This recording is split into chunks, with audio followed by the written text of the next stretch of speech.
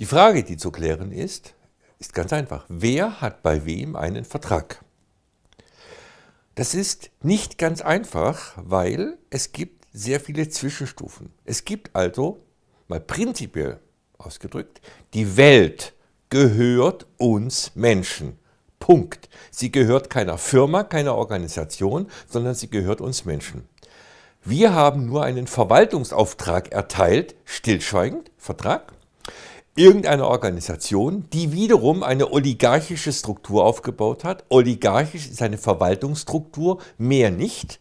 Diese Verwaltungsstruktur ist betriebswirtschaftlich organisiert, also umsatz- und gewinnorientiert. Das heißt, Sie können nicht einfach dahin wursteln, ob Sie Gewinne machen oder nicht, spielt keine Rolle, sondern Sie müssen umsatz- und gewinnorientiert sein. Das ist unser Kernproblem. Diese Verwaltungsstrukturen, die geschaffen wurden für die Verwaltung der einzelnen Elemente wie Arbeitskraft, Gebieteverwaltung, Geldverwaltung, ich nenne jetzt nur mal Beispiele UN-Gebietsverwaltung, United Nations, dann die ILO, International Labour Organization, das ist die Arbeitskraftsverwaltung.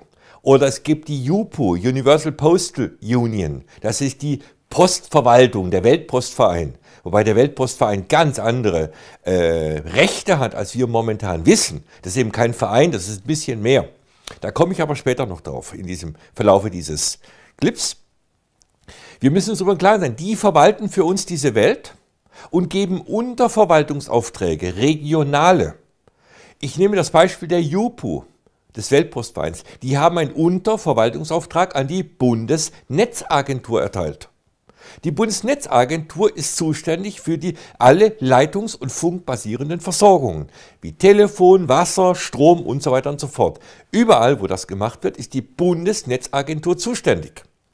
Das heißt, die haben einen Versorgungsauftrag, weil wir haben einen Vertrag, der Vertrag lautet, ihr verwaltet unsere Werte und im Gegenzug werden wir von euch versorgt. Das ist ganz einfach, das ist ein Deal. Das heißt, diese Organisationen geben jetzt eine Unterlizenz an diese Organisationen, die sich Staaten nennen. Das sind Verwaltungsfirmen, regional operierende Verwaltungsfirmen.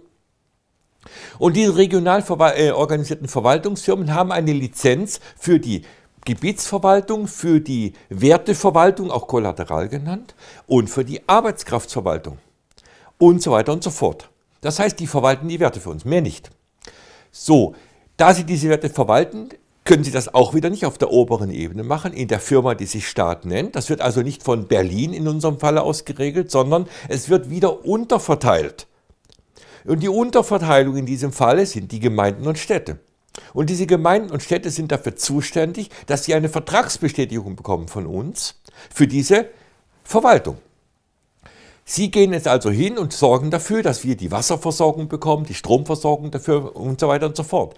Das, was ich bemängeln muss dabei, ist, dass dieser Staat als Verwaltung nicht offen spielt.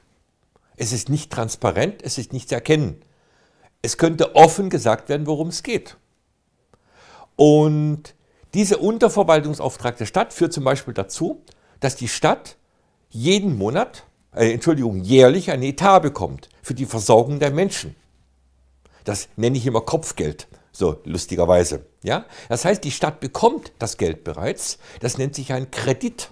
Sie bekommt also Kredite zur Aufrechterhaltung der Verwaltungsstruktur, der Versorgungsstruktur. Diese ganzen großen Einrichtungen, die wir kennen, bekommen alle Gelder aus Krediten, die generiert werden unter Nutzung unseres Werteanspruchs, unseres sogenannten Kollaterals. Es werden Kredite generiert sogenannte Strukturkredite. Alles wird über diesen Weg finanziert und wir werden darüber versorgt und selbstverständlich erwächst uns damit die vertragliche Verpflichtung, Wertschöpfung zu begehen, um im Gegenzug wieder diese Konten aufzufüllen. Es ist ein Geben und Nehmen, was ja auch korrekt ist. Das heißt, wenn dieses System sauber transparent arbeiten würde und klar wäre, wir erbringen eine Leistung für die Gemeinschaft und die Gemeinschaft versorgt uns, wäre das wunderbar. Das wäre der Traum des freiheitlich-demokratischen sozialen Rechtsstaates, von dem alle Menschen träumen. Das Problem ist, wir haben die Parasiten nicht berücksichtigt. Die, die nichts arbeiten wollen und immer mehr Geld verdienen wollen. Aber das ist ein anderes Thema. Dieser Versorgungsauftrag ist nicht wegzudenken, weil Sie müssen dafür sorgen, dass wir weiterhin Geld verdienen. Das heißt, wir müssen dieses Ganze am Laufen halten. Wir sind also nicht nur diejenigen, die dies finanzieren, die sogenannten Creditors im Commerce nennt man das auch, die Kreditgeber im Kommerz, sondern wir sind diejenigen, die auch die Energie einbringen. Wir sind die Energielieferanten des Systems. Und wenn wir keine Energie einbringen, bleibt dieses System stehen. Dann passiert nichts mehr.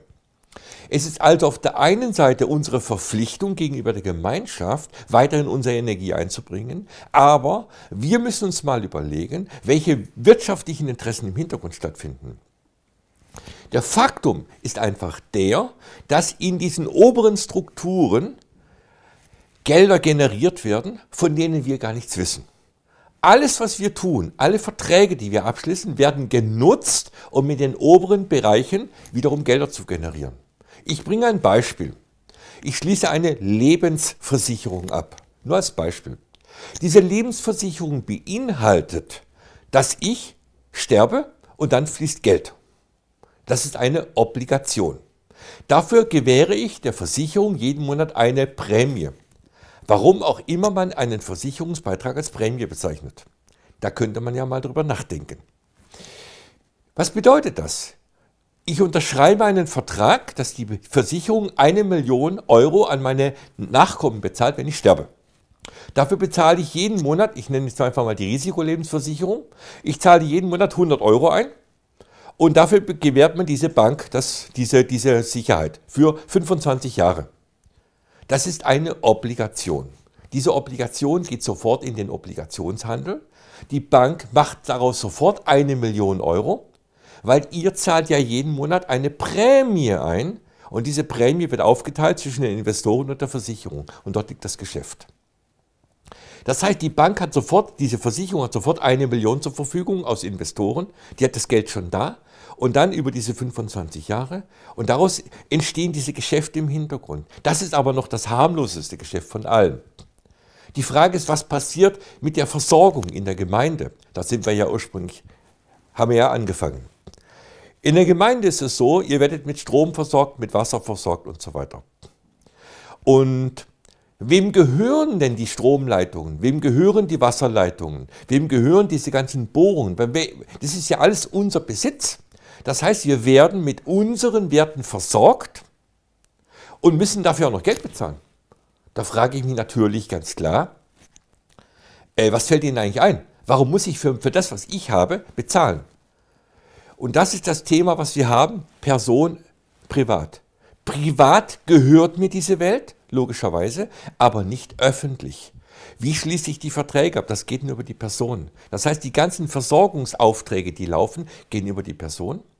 Diese Person schließt Verträge ab. Ich schließe also Verträge ab über die Unternutzung der Person.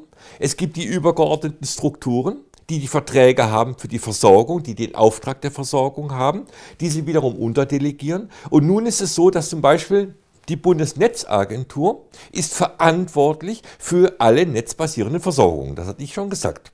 Gut. Aber wir haben dazu ganz komische Strukturen wie ENBW oder Poststrom oder E.ON. Die machen sich Konkurrenz mit Strompreisen, weil sie ja irgendwie in Konkurrenz sind. Dabei sind das nichts weiter wie die Inkassobüros. Sie treiben das Geld nur ein, mehr nicht. Der Versorgungsauftrag besteht trotzdem. Sie müssen das Geld eintreiben und die Bundesnetzagentur im Hintergrund sind die Verwalter dieser Summen, die dort reinkommen. Auch die ganzen Wasserwerke und was auch immer, es sind immer im Hintergrund Strukturen, die dieses Geld einsammeln. Was passiert mit diesem Geld? Ja, ganz einfach, es sind unsere Renditen. Wir, die Menschen, stellen doch die Ressourcen zur Verfügung. Es sind unsere Ressourcen.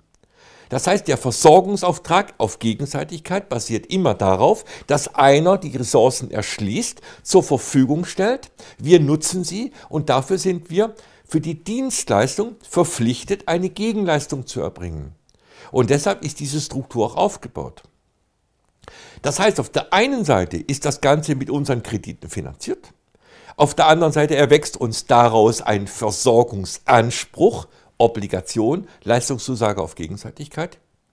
Und im Gegenzug müssen wir dafür auch was erbringen. Das heißt, Kommerz ist nicht dafür gedacht, dass wir uns jetzt einfach sagen, ich zahle nichts mehr, Das ist nicht mehr, das ist nicht mein Fall. Ich habe nie einen Vertrag abgeschlossen. Wir müssen uns überlegen, mit wem haben wir Verträge und warum? Wo ist unser Benefit, unser Vorteil und wo ist unser Nachteil? Und wo hat man es über den Tisch gezogen und wo nicht? Also Kommerz ist es, gilt es auch abzuwägen, was ich tue oder nicht tue. Und es ist nicht meine oder unsere Aufgabe, dieses System in den Grundfesten zu erschüttern, sondern wir müssen uns überlegen, warum haben wir uns in den goldenen Käfig gesetzt und beschweren uns nun, dass man uns langsam aber sicher das Wasser abdreht und darüber sollten wir weiter diskutieren.